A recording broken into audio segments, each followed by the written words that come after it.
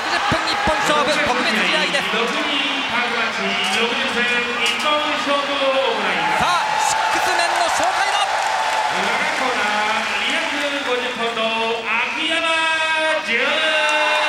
超新星秋山純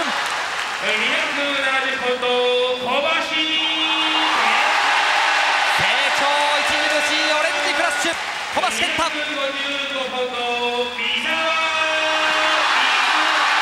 五冠王の意地で武道館を締めくくれ三沢光晴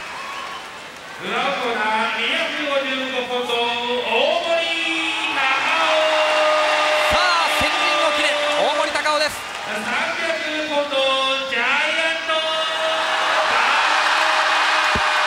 在世界の巨人ジャイアント馬場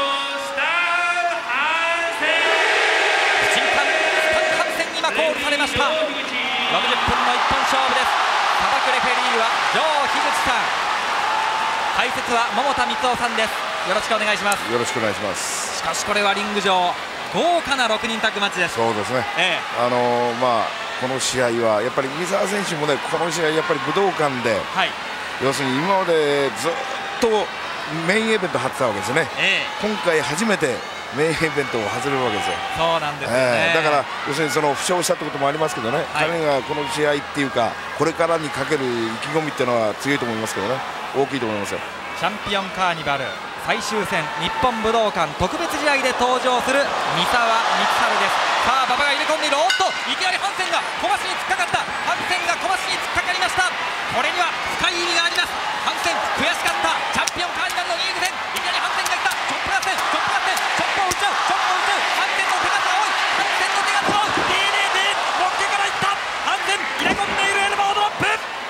さん。はい。公式戦で実はハンセン小橋選手に敗れたんですよね。そうですね。ついに負けたんですよね、ええ。それが、まあ、あの要するにハンセン選手の要するに優勝戦から消えたっていう原因でもありますからね。そうですね、ええ。さあブレンバスター逆に返していった小橋健太。そして今度はおっと後ろ蹴りを見せました。いや今度は前蹴りでスタン・ハンセンが食ってかかるように小橋に襲いかかる。そして若武者大森にタッチいたしました。大森高尾登場。ハンセンのアシスト2人でションアタック元フットボーラー大森。今のハンセンの猛ラッシュ。4月10日仙台大会でしたね、ええ。ー小橋ついにハンセンを。2連発のムーンサルトプレスで破りました。去年から心境著しい。そして大物相手にはい。勝ち星で実績を作っていった小橋にとって、はい。このチャンピオンカーニバル優勝戦進出はなりませんでしたけれども田植えと並んでハンセンを倒した、大きいものがありますね、ねえ。本当にやっぱり精神的にものすごく大きいものがあると思いますね。そうですか、ええ。まあ、要するに去年あのタッグを初めて取って、はい。要するにあの初めてチャンピオンになったということがね、はい。それがやっぱりあの起因してると思うんですよね、そね。れが原因でやっぱりその反戦をもあの破れるという、そのなんていうんですかね、自信につながったっていうか、そういうことだと思いますね。大きな会場で、はい。大きな相手で、はい。小橋という選手は着実にステップアップしていってますね。そうですね、ええ。えそして今度リング上。楽しみなフレッシュな若手同士の対戦になりました。秋山と大森です。むき出しの闘志。秋山がロープに振る。ションダータックルは大森が勝った。そして逆方向に飛んだ大森ジャンプしてかわす秋山。そして投げようとする。すくい投げ打っていった。大森高尾エルボーを狙ったがこれを逆にキックで返しました。ドロップキック打ち合い。一歩も譲りません。秋山大森。大森のこの表情さあ入れ込んでいる2人。ハンセンだけじゃありませんねこの試合入れ込んでいるのは、ええやっぱりみんな個々にやっぱり思い入れがあるみたいですね、はい。それがあの試合に出てますね。思い入れとファンの大歓声が相乗効果になって、リング上は熱戦ですドロップキック秋山純この秋山去年のチャンピオンカーニバルは負傷により電球ということになりましたけれども、はい。今年はすべて公式戦戦い抜きました。よく考えてみたら敗れたのは独協だけなんですよね。そうですね。ええ。えということは要するに着実にええ。実力をつけてるっていう証拠ですね。そうですね、えなんかそのチャンピオンカーニバルをおさらいしているかのようなリング上になりました、そしてリング上は大森。今蹴って倒したのがこの試合初登場。三沢光晴でありました。この三沢にとっては今年の春早く桜が散ってしまいました。そして三沢対ハンセン。公式戦でのファンの楽しみな対決は、はい、三沢の腰の負傷という形で流れてしまいましたその三沢とハンセン。相対します。腕を取りました。三沢の後頭部のあたりで腕をロックするスタン・ハンセン。ロープ際腕を攻めていきます。まあ、この三沢選手は途中ね、はい、ファーナス戦で腰を痛めまして、えー、えー、7試合欠場ということになりましたけれどももうすっかりいいようですね。そうですね。もうかなり、えー、あのー、回復はしていると思いますね。はい、えー、そしてもう場面が次々と展開します、今度はジャイアント馬場登場。全シリーズエキサイトシリーズの最終戦3月5日武道館。三沢は馬場選手から。ジャンピングネックブリーカードロップ1戦。ついに本体恩人を倒しました。その再戦という形になりました。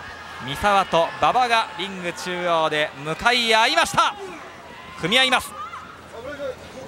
三沢が押してロープサイドにジャイアント馬場さあこの三沢選手なんですけれども、馬場選手を初めてね、ええ。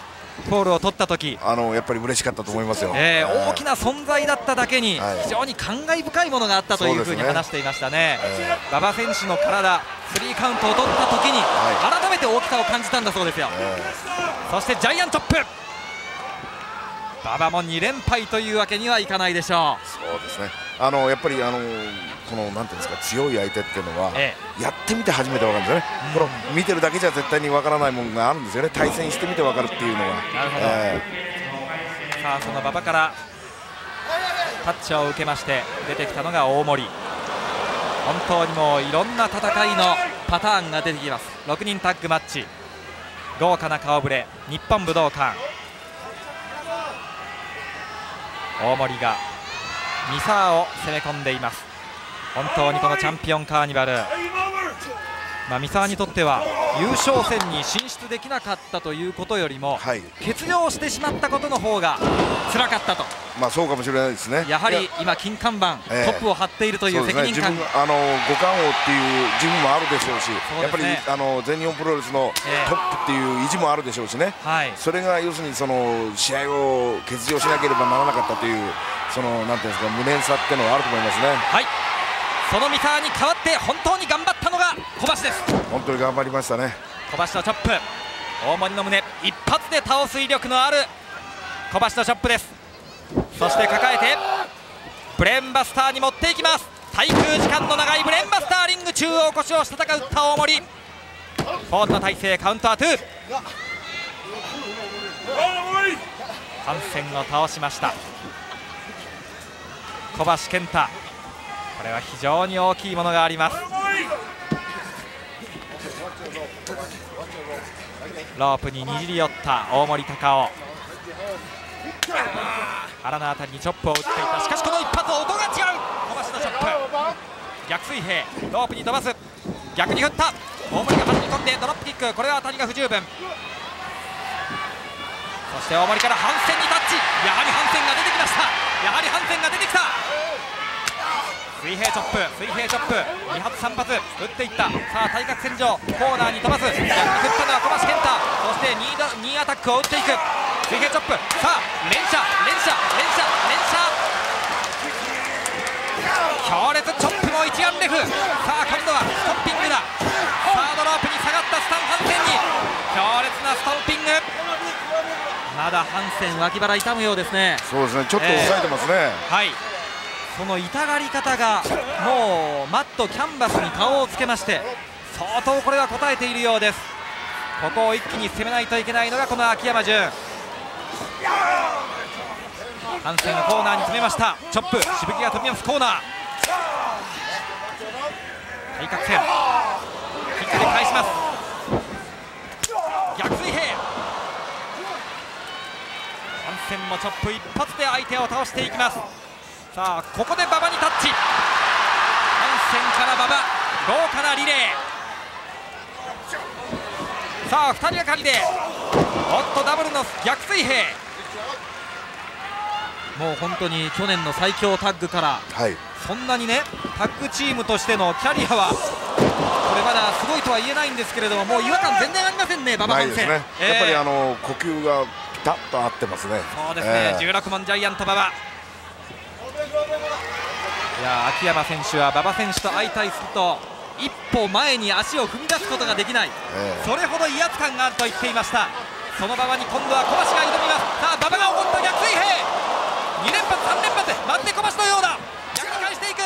恩師にチョップの恩返し。そして怒ったまま歯を食いしばって打つ。2連発のチョップ3発目を打った今度は野々本4発目弟子が打っていった広い胸板大海原にチョップチョップさあロープに飛ばすキッチンシンクだこの辺り攻めのパターンをカラッと変えてくる馬場選手。そこら辺がやっぱりあのなんていうんですかねやっぱり、えー、あの馬場選手のもううまさですよね。そして今度はカート落としカバーに入る。2メートル9センチ。カウントは2今もチョップチョップで来てロープに振られた、はい、16問かな。逆水平かな。いやいや違ったキッチンシンクでした。相手の違法を作っているんですね、えー、ここで大森にタッチ今日は大森選手。もう後ろ盾がハンセン馬場ですからね。そしてパートうまく入った。下からのネックブリーカードロップを打っていきました。これが得意技。カウントワーク今日はもう本体2人の指示を受けないでも自分が積極的にいけるように頑張りたいと試合前に話していました、ブレンバスター。ここまでの動き大森はいかがでしょうか？いいいい動きしてると思いますね、はい、であの序盤戦からかなりいい動きしてると思います、うん、とにかく馬場さんハンセンさんの足を引っ張らないで、はい、頑張ってやっていきたいと言っていました大森隆夫コーナーに決めてチョップです。おっと後頭部からキック。今度は前蹴り。フロントキック。小橋の表情。逆水平。本当に最後の最後まで優勝戦線に踏みとどまった小橋から桜は早めに散ってしまいましたけれどもその無念をこの武道館で炸裂させています。三沢光晴がリング上。大森をロープに飛ばしました。スリーパーホールド。ここからフェイスロックがあります。三沢。逃れようとする大森。まだハンセン馬場までにはちょっとコーナーサイドまで距離があります。大森です。今シリーズから馬場ハンセンとタッグを組むことが大森増えましたね。そうですね、えー、あのやっぱりあの馬場選手が見事やっぱりかなり大森選手に期待するものもあると思いますね。そうですね、えー、その期待に応えてバックドロップ急角度。三沢の動きが止まりました。首を押さえています。大森のバックドロップ。そしてその首筋を攻める首あるいは腰背中から血を抜き取って治療に専念したという三沢。その首の辺りを狙っていきました大森。バックドロップ今のは見事。完全に五冠王の動きを止めましたね。いや本当に止まっちゃったんですね、これちょっと、そしてハンセンがその首に定石通りエルボーからもう一回今度はハンセンがバックドロップを入れました。高さのあるバックドロップ。これは低い。フォールで入ります。カウントはトゥー。馬場が出てきた。勇んで出てきた速いタッチワークだ。どよめきが起こる。日本武道館。2人がかりの攻撃だ。ロープに飛ばす。何が待っている。ダブルの16号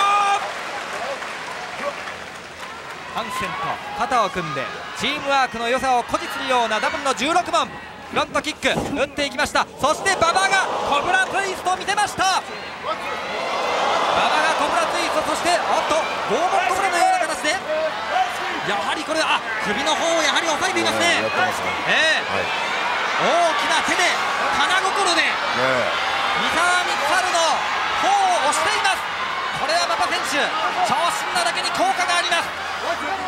さすが。試合の流れそして相手の弱点ポイントを抑えています。大きく投げを打って逃れました三沢ですけれども。チャンピオンカーニバル中に痛めた腰も心配であります。そしてジャンピングしてのエルボー馬場が高いだけにジャンプを感じませんでした。三沢しかし今度はバックスピンキック。馬場大きく大木が倒れるようにリング上ダウンしました。そして秋山。さあ今日はジャイアント馬場にノーザンライトをかけたいと言っていた秋山。できるでしょうか。さあギロチンドロップ。カウントが入る。威圧感がある。リング上で向かい合うと本当にその存在感偉大なものを感じると言っていた秋山が音体にノーランライトスープレックスをかけることができるでしょうか。そこまで全くいかないんですと言っていた秋山なんですがさあ今日はどうでしょう。キックで倒されました。そしてここで大森やハンセンの左に持っていきました。大森が登場。ライバル対決になりました。大森のキックハンセンのパンチ。これが怖い。試合の権利ないハンセンの後ろからのパンチ。そうですね、えー、あれがまだあのハンセン選手のペースですからね。そうですね、えー、流れを寸断してしまいますハンセン。キックで返す大森。飛び込んでいくところ。あっと今度はジャンピングにさあ秋山がすくい投げ逆に返していった後頭部から落ちていきました秋山武者震い若武者大森気持ちのいい体験です。若い2人。DDT を見せました大森。カウントが入ります。リング中央いいポジション。さあここで秋山を攻め込むことができるか。ロープに飛ばす。逆に返される。おジャンピングニーアタック。ローピーはジャンピングニーアタック多用していますこの技。そして小橋登場。試合の流れが速くなってきました。両チームのタッチワーク激しさを増してきた。ジャンピングショットアタック反戦に行った。反戦に行きました。反戦の表情はどうだ？首を回しているさあ1点を見据えて小橋も小橋も大盛りを見ていない反転を見ている伺う反転これは怖い反転反転反転反転反転パンチパンチ怒りました反転大盛りそっとけ後ろから大森パンチしかしあっとバックドロップ大森も意地があるここでジャイアント馬場登場試合の権利のない反戦が武道館の超満員のお客さんの目を一手に引きつけました。そして馬場がネックブリーカードロップ。馬場が小橋を落とします。起こします。ここで時間の方は早くも15分を経過。時間を感じさせない素晴らしい攻防の一戦ですね、ね、お互いにみんな自分の要素を出してますからね。ネックブリーカードロップ、そしてフォールド体勢カウンター2です緩やかに入りますがポイントを抑えて的確に相手にダメージを蓄積させていきます。ジャイアント馬場のネックブリーカードロップ。さあ今度はおっとさあタイムドライバーか。秋山が入る。秋山が入る。奥手で入る。ロープに飛んだ。逆位兵がっていた。ジャイアント馬場冷静です。もう一回。さあタイルドライバーの体勢だ。小橋を持ち上げる。持ち上げる。持ち上がらない。上がらない。耐える耐える耐える小橋おっとさあ馬場を馬場の巨体を逆に投げようというのか。小橋の馬場の股の下の表情投げました。返しました小橋しかしちょっとボールを落としてコーナーを間違えているあ馬場打った本体維持のパイルドライバーカウントが入りますが小橋の足がかかりました。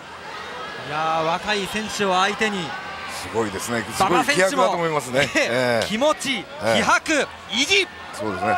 全てリング上で現れています。脳天空竹割。りロープに飛ばします。何が待っているままの16問かわした。小橋のあっとジャンピングショルダーアタック。そしてコーナーにコーナーに三沢にタッチ三沢にタッチ。さあ馬場はどうする？馬場はどうする？馬場が立ち上がった。三沢がロープに飛ばす。自らもロープに飛んでさあ三沢ジャンピング、L えジャンピングのラリアットを見せました。そして受け身はローリング。三沢ならではのジャンピングのラリアット。そしてあっと背後に回った。馬場を投げた。バックドロップ。腰は大丈夫か？三沢光晴そして背後からさあ馬場からギブアップを奪おうというのか？さあフォローに入った。秋山がフォローに入りました。そして反転は反転はさあ三沢に三沢にチャンス。三沢にチャンス到来。中央さあペ決まりどうですか？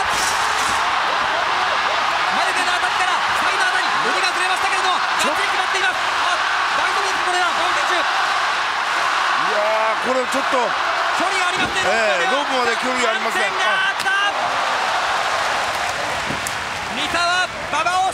締め落とす寸前名優ハンセン馬場を救いました。危なかったという表情馬場。ハンセンが入ってきた。そのハンセンを。超世代軍がダブルのドロップキック。さあ馬場。秋山にタッチだ。三沢秋山にタッチ。2人がかりで。おっとエルボー。これは勢いがあった。三沢もエルボーだ。そして小橋は？小橋あっと馬場一人にどうやら照準を絞ったようですね。いやそういう感じですね。ムーンサットだ。ムーンサットいった。どうだ？さあカウントがいる。カウント。がいるおっとカウント2ですか？いや2です。2です。カウント2馬場返しました。小橋馬場からホールを奪う大チャンス。三沢に続け。小橋さあそして小村の大正解やローリングクレイドル。ローリングクレイドルローリングクレイドル馬場を回しています。巨体を回しています。東洋の巨人が回転している。ハンセンが入りました。いやこの特別試合思わぬ展開。馬場選手にどうやら挑戦ない軍。そうですね。照準を絞ったようです、えー、馬場が孤立しています。危ないです、ね、馬場が孤立している。危ないですか、えー、神戸を垂れてしまった馬場ゆっくりあまだ小橋が見えていないか。ジャイアント馬場プレーマスタープレーマスター。小橋プレーマスター。プレーマスター。あっと DDT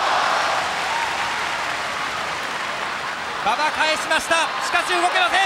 リング中央。目がうつろ。口を開けている。コーナーに戻れない馬場。青コーナーに戻れません。馬場ピンチ。馬場大ピンチ。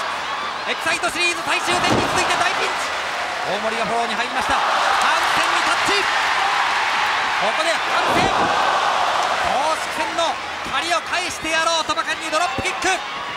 大一番に出すハンセンのドロップキック。遮二無二出ていった。秋山にもいった三沢にもいった。これがハンセンの恐ろしさ。馬場が1人やられた分ハンセン今度は自分が1人でやってやろうという攻撃です。そしてあっと膝のサポーターをずらして右膝で2ドロップを落としました。いや特別試合。夢のカードが一変して激しい試合になりました。すごい激しい状態ですね。ええー、ハンセが速いブレンバスター。カバーに入る。カウントは2さあこの小橋。せっかく公式戦でハンセンを破ったんです、はい、ここでまた敗れるわけにはいきませんよね。元の木阿弥になってしまいますよね、えー、さあ秋山が入ってきた。三沢が言っていました。小橋ハンセンを破ったのは素晴らしい。でもプロレスは1回勝っただけじゃダメなんだ。先輩三沢はそう言っていました。あ投げっぱなしのパワーボム。この襲い方。アウトが入る。三沢入りました。今まで10回やって1回しか勝てなかったら今度は5回やって1回勝つように。そして3回やって1回勝てるように。ね、どんどん勝ちを重ねていかないといけないと言っていましたしかし反転そうは腕をぶす左腕ラリアットを予告した。さあ武道館に響くか。反転の腕。さああいきなりいった。かわした。ミターのエルボー。しかし危ないぞ。ショートアタック。ルこの辺目がたくさんついている反転戦況をよく見ています。さあ恨み100倍にして。小橋に怒りをぶつけたいハンセン。しかしここは若い大森に託します。ミサイルキック。大森です。カウントは2 6選手の思惑。意地入り乱れています。ロープに飛んだ。速い展開。ランニングしてのエルボードロップ。大森がもう1回走る。小橋が立った。コバットを見せました。今も素晴らしいですね。いや早かったですね。早かったですね、えー、もう大森がロープに走っていく時には体勢を整えかけていました。さああと失敗した。ジャーマンスープレックスンの一瞬の突き大森あカウンター2です。いいアタック。かわした後は今度はジャーマン。大森も速いじゃないですか。今いい動きだったですね。そうですね、えー、ボディスラム。さあ何を狙うか。大森がコーナーポスト最上段に登った登った。さあ技はなんだ？ダイビングのエルボードロップ。秋山に打っていった。カウントがいる。どうだ？あカウント思わず実況の中に簡単詞が多くなってしまうような試合になりました。バックを取った。大森。ジャバーもう何枚とかいやこのまま投げ捨てた。そして今度は小橋にスイッチ。小橋にスイッチ。あっ！小橋が反転を意識して腕を回している。ラリアット。ラリアットで大森を吹っ飛ばしました。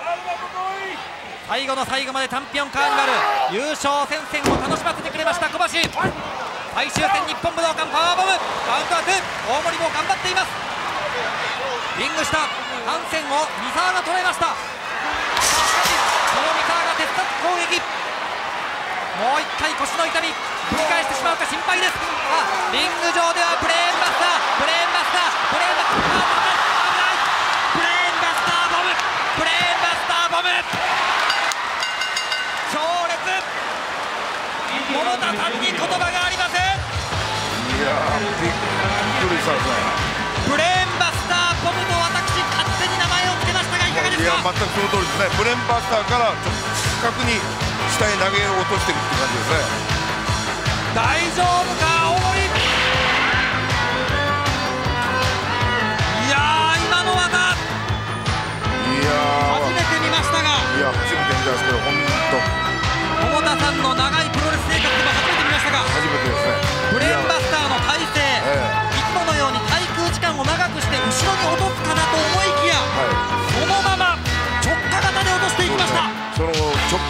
あの直下型に落とす前に上ちょっとあのジャンプしたような形で持ち上げてますね、はいはい、勢いをつけていましたね、いやブレンバスターボムと私勝手に名前を付けましたけれども勝負タイムは24分19秒。豪華絢爛のタッグマッチは超世代軍三沢光晴秋山10組に外貨が上がりました